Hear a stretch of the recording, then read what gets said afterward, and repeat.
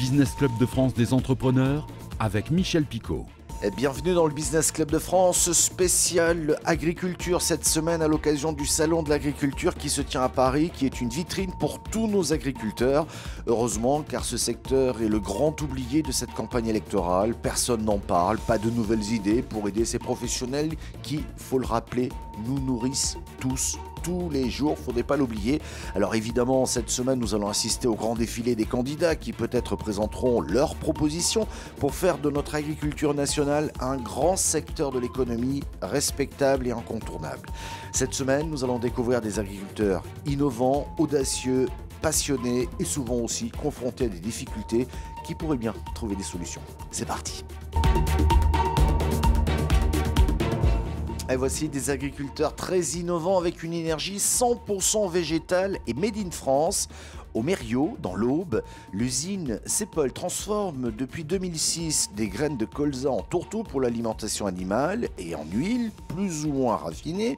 Et depuis décembre 2020, le biocarburant Oléo 100 figure parmi les produits réalisés sur le site. Renouvelable et moins polluant, le site s'est même récemment doté d'un locotracteur roulant grâce à ce biocarburant. Un reportage de Christian Viera de Canal 32. Le site de trituration de colza du Mériot a inauguré l'usage de ce locotracteur mi-décembre. Cet engin permet de circuler sur rail ou sur route. Opérateur train, opérateur train, est-ce que tu peux faire avancer la loco? Locotracteur nous sert à déplacer les wagons sur le site, donc les wagons de graines ou d'huile et de biocarburant pour nous permettre de les charger ou de les décharger. Un locotracteur de cette capacité-là peut tirer à peu près 2000 tonnes. On peut avoir un pilote en cabine ou sinon elle peut être euh, manipulée avec une télécommande. La nouveauté, c'est que ce locotracteur roule avec l'oléosan, un carburant végétal fabriqué ici même sur l'usine du Mériot. Aujourd'hui, ça permet de diminuer de 60% les gaz à effet de serre et 80% de réduction de particules fines. La matière première, la voici. Rentré en service en 2006, ce site transforme les graines de colza, collectées dans un rayon de 250 km, en huile pour la cuisine, en tourteau pour l'alimentation animale et, parmi les coproduits, en biocarburant végétal l'oléosan. C'est le premier locotracteur aujourd'hui qui roule en 100% colza en France et c'est que le début.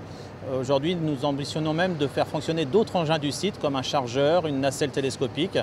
L'ambition du groupe Avril, c'est de faire rouler 50% de toute la flotte des camions qui amènent la matière première ou qui servent à l'expédition de nos produits finis, donc 50% d'ici l'horizon 2023 et 100% en 2025. Aujourd'hui, un locotracteur comme celui-ci va consommer environ 15 000 litres de gasoil non routier à l'année, ce qui va nous permettre de faire l'équivalent en oléosan donc à peu près une économie de 30 000 kg de CO2. Ce carburant, orienté vers un usage professionnel, a déjà fait ses preuves puisqu'il était proposé via d'autres sites depuis 2018. 500 clients aujourd'hui utilisent le Léo-Sens qui représente à peu près 4500 camions qui roulent tous les jours avec ce carburant végétal. Donc aujourd'hui nous installons des cuves connectées directement chez nos clients. Nous avons des clients dans l'Aube qui est TCP messagerie. Oléosan n'est pas réservé à 100% que pour les, les camions. C'est aussi euh, une possibilité pour les collectivités locales avec des bus ou alors pour les engins de chantier de type carrière. Ça rentre complètement dans un mix énergétique en complémentarité avec l'hydrogène l'électricité euh, que l'on peut rencontrer aussi aujourd'hui qui sont en plein développement. L'avantage euh, par rapport au carburant fossile, c'est un carburant local qui favorise une centaine d'emplois sur le Mériot, emplois directs, et environ 350 emplois indirects liés principalement au monde du transport. Le Mériot transforme un million de tonnes par an de graines locales de colza, ce qui permet d'obtenir 250 000 tonnes de biocarburant oléosan. Trop de producteurs et pas assez de demandes. Un problème de régulation du marché qui concerne aujourd'hui les producteurs de lait bio. Depuis le début de l'année, 12 éleveurs vosgiens vendent leurs produits au prix du conventionnel mais continuent de payer une certification biologique onéreuse. Ils menaient récemment une action dans une ferme située à Noroy près de Vittel. Un reportage de Vosges TV. Un camion de collecte de la fromagerie L'Ermitage bloqué ce mercredi à Noroy et des éleveurs inquiets pour leur avenir. Depuis le début de l'année, 12 producteurs bio vosgiens vendent leur lait au prix du conventionnel, donc beaucoup moins cher. Mathieu a repris la ferme familiale il y a 10 ans et s'est rapidement converti. Une centaine de vaches y produisent 600 000 litres de lait par an. Mais produire en bio, ça coûte. C'est donc pour lui impensable d'imaginer son chiffre d'affaires passer de 300 000 à 200 000 euros. C'est comme si aujourd'hui on vous disait un tiers de votre revenu était supprimé supprimer un tiers du revenu à quelqu'un qui gagne 1500 euros, bah, il gagne plus que 1000 euros, bah, il a toujours les mêmes charges et il a du mal à s'en sortir. Une situation amèrement constatée par Dominique, l'un des premiers agriculteurs bio des Vosges. Il y a 20 ans, le département ne comptait que 40 exploitations certifiées. Elles sont aujourd'hui plus de 300, avec une évolution exponentielle ces dernières années, encouragée par des primes à la conversion. C'est vrai qu'on a connu des hauts et des bas. Euh, j'ai vendu pour la première fois du lait en 1986.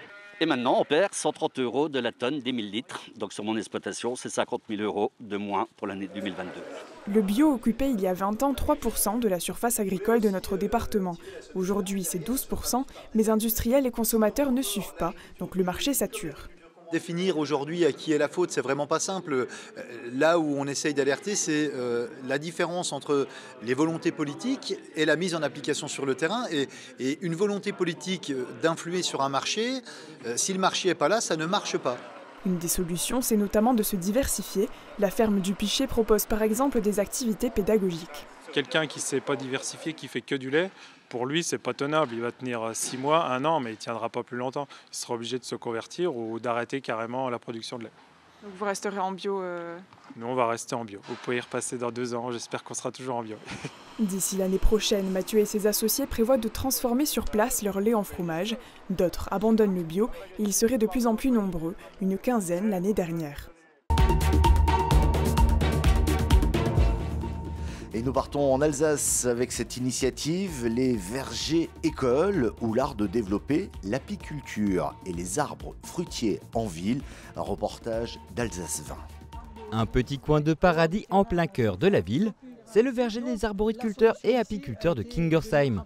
Ici, chaque année, ce sont 2500 élèves des écoles de l'agglomération mulhousienne qui viennent découvrir l'apiculture et les arbres fruitiers.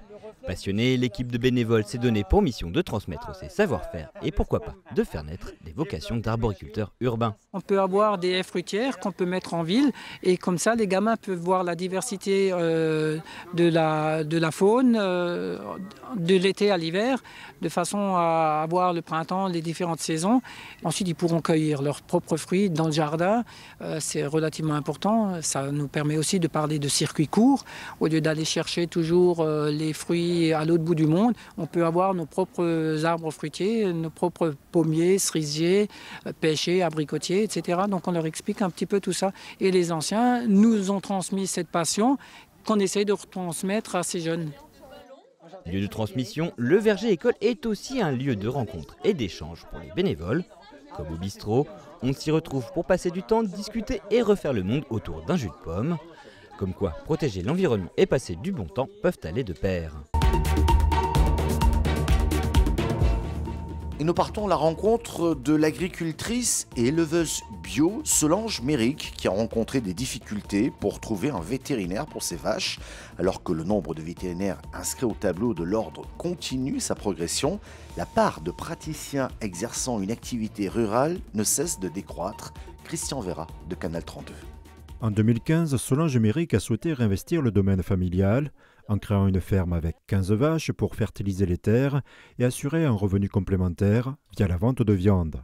Tout va bien mes beautés, c'est pas le foin encore. Son projet a failli capoter faute de vétérinaires. J'avais prévu de travailler avec les vétérinaires de Bar-sur-Seine, euh, euh, qui sont mes vétérinaires pour mes chiens et chats.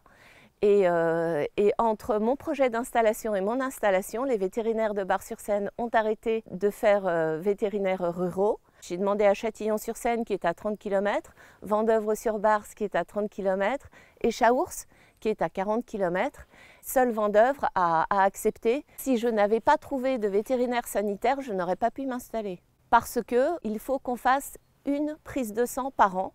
Ici, lors de son enfance, les vétérinaires assuraient des déplacements hebdomadaires Élue à la Chambre d'agriculture, elle constate que cette période est révolue. Les éleveurs avec qui je peux parler, que ce soit euh, des chèvres, des moutons, euh, des vaches, euh, ont, des soucis. On a un centre équestre à Verpillière-sur-Ours et, je sais que pour, pour avoir les vétérinaires, c'est compliqué aussi. Tellement compliqué qu'elle a peur de les perdre. Pour cela, elle prend des photos, les contacte par téléphone et parfois transporte elle-même les animaux autre investissement, l'amélioration de ces systèmes de contention. Première vache passe, deuxième vache passe, la troisième vache fait un refus. Donc le veto était contrarié puisqu'il a perdu du temps. Et il a dû revenir. Donc j'ai réfléchi, j'ai trouvé ce système. Le jour de la prise de sang est arrivé et que le veto est venu, toutes les vaches étaient prises. Mais c'était plus le veto qui avait demandé euh, à ce qu'elles soient toutes prises en même temps parce qu'il était parti à la retraite. J'essaye d'avoir l'installation la mieux possible pour que le, travail du vétérinaire prenne le moins de temps et le moins dangereux possible aussi. Départ en retraite sans succession, baisse des interventions en milieu rural, ces difficultés d'accès à des vétérinaires figurent parmi les raisons qui ont dissuadé cette éleveuse de se diversifier dans l'élevage porcin bio, malgré une demande croissante. Les prix des engrais azotés ont explosé, ce qui met en difficulté bon nombre d'agriculteurs. Un reportage de Romain Delville de TV Tour. L'envolée du prix des engrais azotés est telle que Philippe Palfard en viendrait à hésiter à semer du blé dans les mois qui viennent. Un comble pour cet agriculteur qui cultive sur 227 hectares de l'orge, du colza, du lin, de la févrole et donc du blé. Avec des tarifs d'intrants qui ont plus que triplé par rapport à l'an dernier, il faudrait une moisson plus exceptionnelle encore que celle de l'année 2021. Ce Lochois a dû trouver un substitut trois fois moins concentré en azote et qui lui fait craindre des rendements moins bons. De l'eau azotée qu'on a trouvée comme ça sur le marché, mais euh, ça, ne représente que le premier, euh, voire le deuxième passage. Donc euh, on va être couvert qu'à 50%. Est-ce qu'on va réduire la quantité d'azote encore au détriment de la qualité sur la récolte 2022 C'est pas exclu. Euh, on, est en, attente de, visibilité sur le marché dans le, mois qui vient. Alors pourquoi une telle envolée des prix de l'azote? Comme souvent, c'est multifactoriel. La consommation dans certains pays comme l'Inde ou le Brésil a fortement augmenté. La France importe ses engrais azotés. Les tarifs de transport maritime ont flambé depuis le Covid. La Chine en produit moins. Enfin, la base même du produit n'a jamais connu des prix aussi élevés. L'évolution du prix du gaz, hein. donc euh, forte augmentation du prix du gaz, hein, qui, est, précurseur, je dirais, pour la production de l'ammoniac. Hein. Donc, euh, donc tous ces phénomènes-là, euh, tous ces phénomènes-là ont entraîné une, une, hausse très importante des engrais. À ça, on peut rajouter un problème politique avec la Biélorussie où cette année la France n'a pas du tout importé de, solutions azotées de la Biélorussie, alors qu'habituellement ça doit être de l'ordre de 500 000 tonnes de solutions importées de ce pays-là. De son côté, Philippe Palfard a commandé la moitié de ses intrants pour l'année, dans l'espoir de voir les prix baisser au fil de la saison. Mais en vérité, il n'y croit pas beaucoup. Vous pouvez retrouver cette émission en replay vidéo sur le site de votre télévision locale ou sur celui de l'émission. Nous sommes également disponibles en podcast audio. Merci de votre fidélité et à la semaine prochaine.